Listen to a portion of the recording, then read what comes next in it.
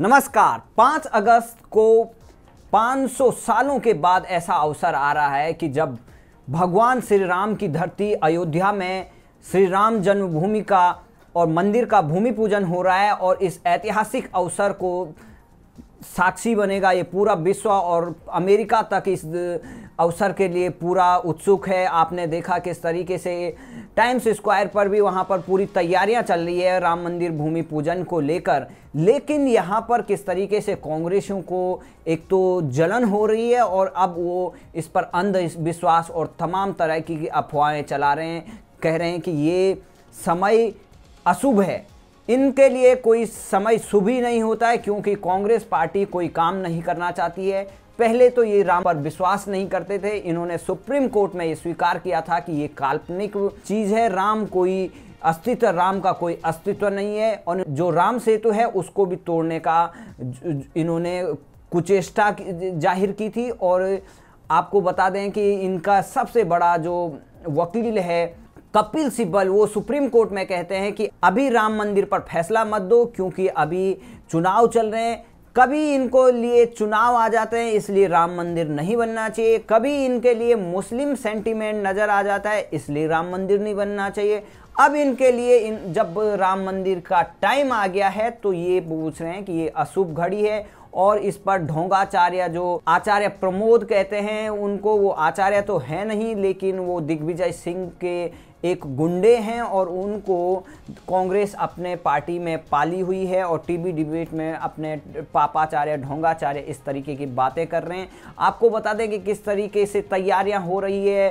शिवसेना भी एक करोड़ का दान का ऐलान किया है, लेकिन वो भी भूमि पूजन का विरोध कर रही थी। लेकिन सबसे बड़ी बात है कि जो ढोंगाचार्य और दिग्विजय सिंह इस शुभ घड़ी को, इस ऐतिहासिक घड़ी को अशुभ बता रहे हैं। एक तरफ़ तो उनके पार्टी के एक नेता हैं जो कमलनाथ, वो अपने घर में हनुमान चालीसा का पाठ करेंगे, वो यज्ञ करेंगे अपने घर पर, अपने ऑफ़िस में। लेकिन वहीं तरफ़, दूसरी तरफ़ कांग्रेस का एक धड़ा है कि वो इस तरीके के राजनीति कर रहा है और एक षड्यंत्र फैला रहा है। लोगों के मन में एक गलत शंका पैदा कर रहे हैं, अशुभ घड़ी बता रहे हैं। जैसे गृह मंत्री अमित शाह को कोरोना हुआ, उसको लेकर कह रहे हैं कि अभी ये अशुभ घड़ी है, इस अशुभ घड़ी में क्यों वहाँ जा रहे हो? वहाँ भी कोरोना कर दोगे। तो इस तरीके का काम है, क्योंकि भगवान ने ये धरती बढ़ाई है और इसके लिए हर घड़ी शुभ है, कोई दिन अशुभ नहीं होता है। और एक तरफ़ ये कहते हैं कि हम वैज्ञानिक सोच वाले हैं, हम कांग्रेस वाले हैं, हम पुरानी विचारधारा वाले नहीं हैं, लेकिन इनकी जो सोच है कि किस तरीके से जो शुभ कार्य है उसका विरोध कर रहे हैं। इसी तरीके का जब आपने देखा कि ओवैसी को भी इस पर निमंत्रण दिया गया है, बीजेपी के एक नेता हैं, उन्होंने ओवैसी को निमंत्रण दिया है भूमि पूजन के लिए। अभी ओवैसी का बयान आया था तमाम इन चीज़ों के लिए कि आपने देखा जो पूर्व मध्य प्रदेश के सीएम हैं कमलनाथ, उन्होंने कहा था कि राजीव गांधी चाहते थे कि वो वहाँ पर मंदिर बने और उन्होंने ही कपाट खुलाए थे। तो आप लगा सकते हैं कि किस तरीके से एक तरफ़ कमलनाथ अब राम मंदिर का वोट बैंक अपने पास खींचने की कोशिश कर रहे हैं, क्योंकि आपको पता है कि अभी मध्य प्रदेश में उपचुनाव होने वाले हैं काफ़ी सीटों पर और उस उपचुनाव को देखते हुए कांग्रेस का कमलनाथ गुट ये चाहता है कि हमारा वोट बैंक न भागे, इसलिए वो राजीव गांधी को क्रेडिट देना चाहते हैं उस बात का, जबकि राजीव गांधी हो या कांग्रेस पार्टी, वो हमेशा राम विरोधी रही है और उन्होंने राम मंदिर को अटकाने, लटकाने और उसको भगवान राम को काल्पनिक बताने का जो पाप किया है, उसको जनता कभी माफ़ नहीं करेगी।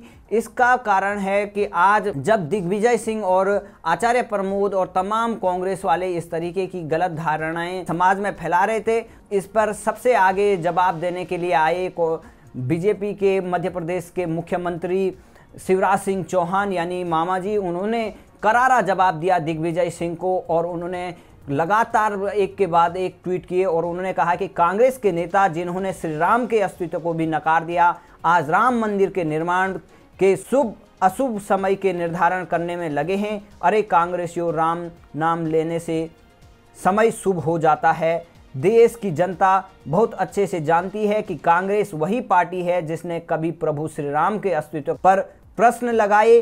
सुप्रीम कोर्ट में हलफनामा देकर कहा कि भगवान राम कभी पैदा ही नहीं हुए। यह एक कोरी कल्पना है। मणिशंकर अय्यर जी ने भगवान श्री राम के जन्म स्थान पर सवाल खड़े किए।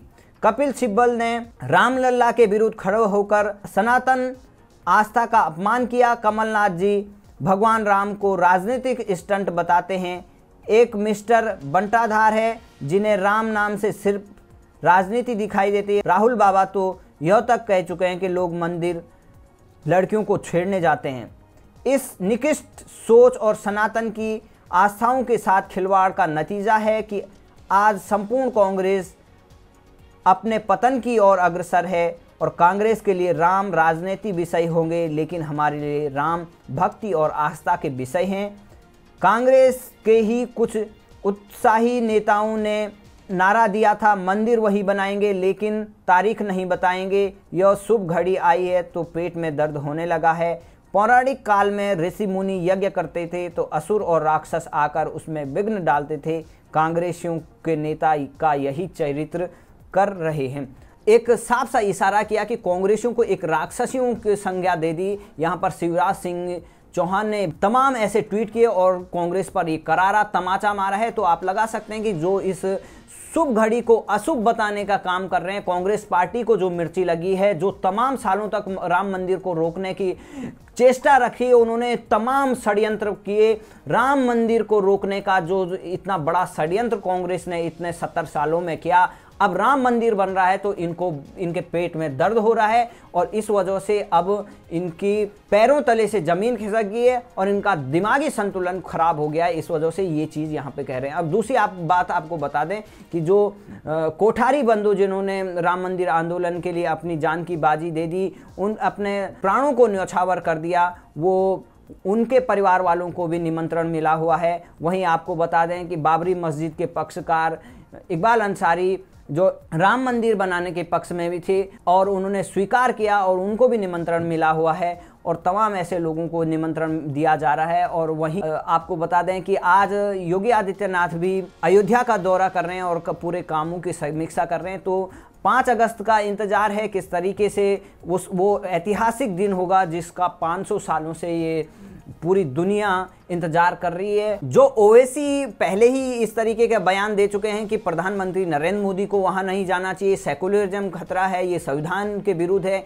इस तरीके का तमाम आरोप ओवैसी लगा चुके हैं और ओवैसी पहले ही से ही राम मंदिर विरोधी हैं और ओवैसी ने तमाम ऐसे तर्क दिए कि जो बाबर के वो सपोर्टर हैं तो रा, राम मंदिर विरोधी जो ओवैसी हैं वही कांग्रेस पार्टी है। और जब कांग्रेसियों का नाटक इस तरीके से शुभ अशुभ घड़ी बताने का जो काम कर रहे हैं तो वो आप समझ सकते हैं कि कांग्रेस पार्टी ने तो हिंदुओं को आतंकी कहने का पूरा जो इतना बड़ा महापाप किया है उसको तो न हिंदू माफ़ करेंगे न ही भारत कोई माफ़ करेगा कि उन्होंने किस तरीके से छब्बीस ग्यारह के बाद आपने देखा, दिग्विजय सिंह ने जो एक किताब को लॉन्चिंग किया था कि आरएसएस की साजिश छब्बीस ग्यारह, लेकिन आपने देखा कि उसमें तमाम ऐसे लोगों को भी पकड़ा गया, साध्वी प्रज्ञा को और पुरोहित थे, उनको भी उसमें अरेस्ट किया गया और उसकी एक छोरी दी गई थी, चाहे वो समझौता एक्सप्रेस का एक षड्यंत्र जो पाकिस्तान ने जिस पे अटैक किया, उसको भी हिंदुओं की साजिश बताकर कांग्रेस ने हिंदुओं को बदनाम करने का प्रयास किया है।